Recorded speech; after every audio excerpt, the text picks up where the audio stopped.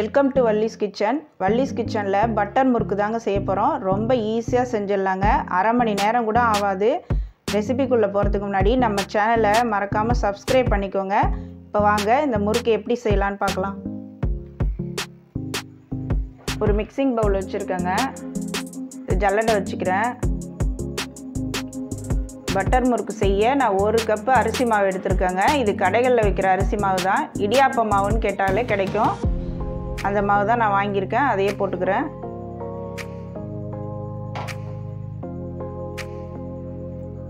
ரெண்டு table spoon கடலை மாவு போட்டுக்கிறேங்க.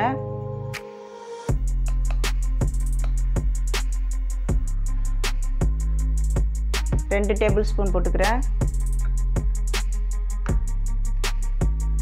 கால் கப் பொட்டுக்கடலையை நான் மிக்சியில் அடித்து சளிச்சு வச்சுருக்கேன். அது கால் கப் எடுத்திருக்கேன். அதையும் நான் போட்டுக்கிறேங்க. இது அப்படியே நல்லா ஜலிச்சிக்கலாங்க.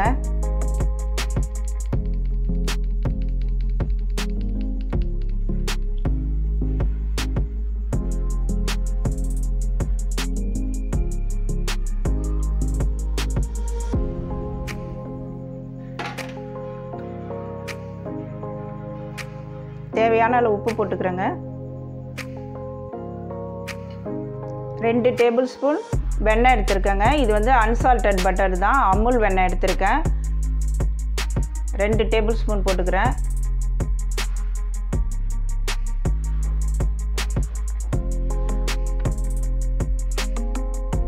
ஒரு டீஸ்பூன் ஜீரகம் எடுத்திருக்கேன். இதை நல்லா கையாலே கசக்கிட்டு போடுங்க. ரொம்ப வாசனையாக இருக்கும்.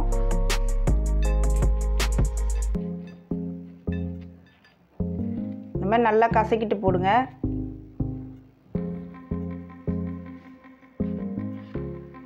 ஒரு டேபிள் ஸ்பூன் பெருங்காய தண்ணி வச்சுருக்கேன். இது வந்து கட்டி பெருங்காயத்தை நான் கரைச்சி வச்சுருக்கேங்க. பவுடர்லாம் போட்டால் நல்லா இருக்காது. இது மாதிரி போடுங்க. ரொம்ப வாசனையாக இருக்கும்.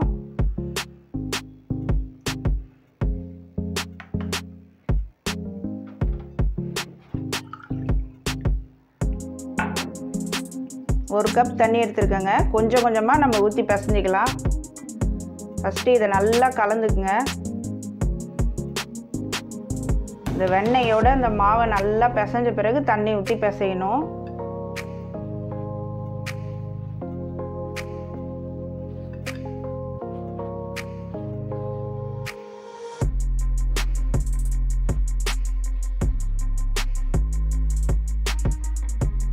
நல்லா இந்த அளவு பிசைஞ்சிங்க இப்போ நம்ம தண்ணி கொஞ்சம் கொஞ்சமாக ஊற்றி பிசைஞ்சிக்கலாங்க.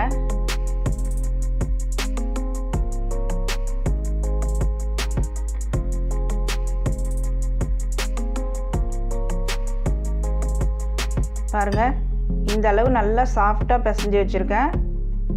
ரொம்ப டைட்டாக போயிருந்தால் புழிய முடியாது. கொஞ்சம் லூஸாக இந்த மாதிரியே பிசைஞ்சு வச்சுக்கிங்க. பாருங்கள் இந்த மாதிரி ஒரு அச்சு தான் நான் எடுத்திருக்கேன். இந்த மாதிரி ஸ்டார் அச்சு உள்ளதாக எடுத்துக்கோங்க. இதில் தான் நம்ம புழியணும். உங்கள்கிட்ட எந்த அச்சு இருந்தாலும் எடுத்துக்கங்க.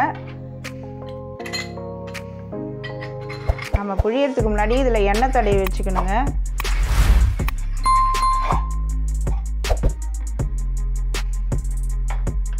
உள்ளெல்லாம் நல்லா எண்ணெய் தடவிங்க அப்போ தான் புழியும் போது ரொம்ப ஈஸியாக வரும்.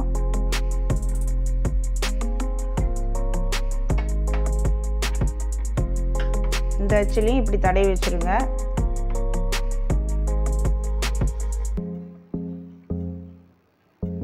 பாருங்கள் இப்போ அச்சில் நம்ம மாவு போட்டுக்கலாம். கொஞ்சமாக மாவு எடுத்துக்கலாம். இப்படி போட்டுங்க ரொம்ப இதளவு இந்த ரொம்ப அளவு போட்டுக்காதீங்க. இந்த பதம் போட்டுங்க. போட்டு கொஞ்சம் புழிஞ்சு பாருங்கள் ஈஸியாக இப்படி வந்ததுன்னா பாருங்கள் இல்லைன்னா ஒரு ஸ்பூன் தண்ணியாவது ஊற்றி நல்லா பிசைஞ்சிக்கிங்க லூஸாக பாருங்கள் ஒரு கடாயில் எண்ணெய் ஊற்றி நல்லா சூடு பண்ணிட்டேன். எண்ணெய் சூடாக இருக்கான்னு நீங்கள் தெரிஞ்சுக்கணுன்னா கொஞ்சோண்டு மாவை போட்டு பாருங்கள் அதை உருண்டி போட்டுடாதீங்க. இப்படி முறுக்கு மாதிரி செஞ்சு போடுங்க. உருண்டி போட்டால் வெடிச்சிரும். எண்ணெய் காஞ்சிருச்சுன்னா டக்குன்னு மேலே வந்துடும் இப்போ எண்ணெய் கரெக்டாக இருக்குங்க. காஞ்சி நம்ம இப்போ புரிஞ்சிக்கலாம். மாவை உருட்டி போட்டுறாதீங்க. இந்த மாதிரி போட்டுக்குங்க.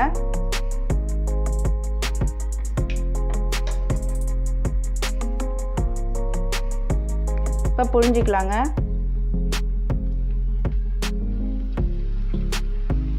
அடுப்பை கொஞ்சம் சிம்மில் வச்சிங்க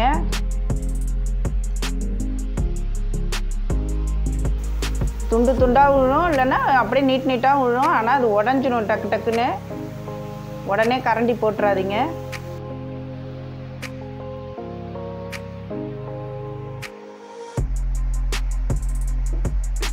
இந்த சலசலப்புலாம் அடங்கின பிறகு நம்ம எடுத்துக்கலாங்க.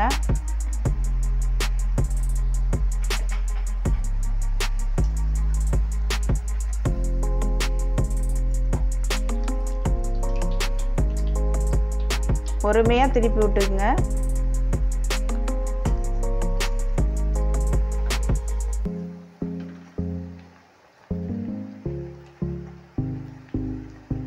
அதுவே துண்டு துண்டாக உடஞ்சி வந்துடும்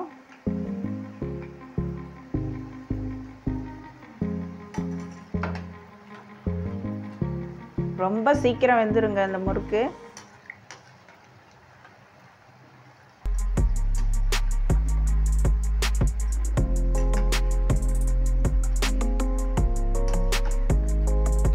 மிதமான தீயிலே வச்சிங்க. ரொம்ப தீ வைக்க வேணாம். குறைச்சியும் வைக்க வேணாம். மிதமான தீயிலே வச்சுங்க.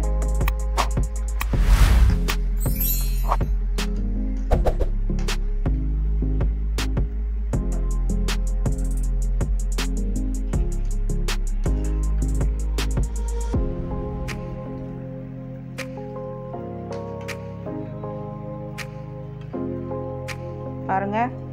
எவ்வளோ சூப்பராக வந்திருக்கு. இது மாதிரியே எல்லா முறுக்கையும் நம்ம போட்டு எடுத்துக்கலாங்க. பாருங்கள் ரொம்ப அருமையாக பட்டர் முறுக்கு செஞ்சிட்டோம். இதை குழந்தைங்க பெரியவங்க எல்லாருமே விரும்பி சாப்பிடுவாங்க. இதை ஒரு ஏர் டைட்டான பாக்ஸில் நீங்கள் வச்சுக்கிட்டிங்கன்னா நல்லா வச்சு சாப்பிட்லாம்.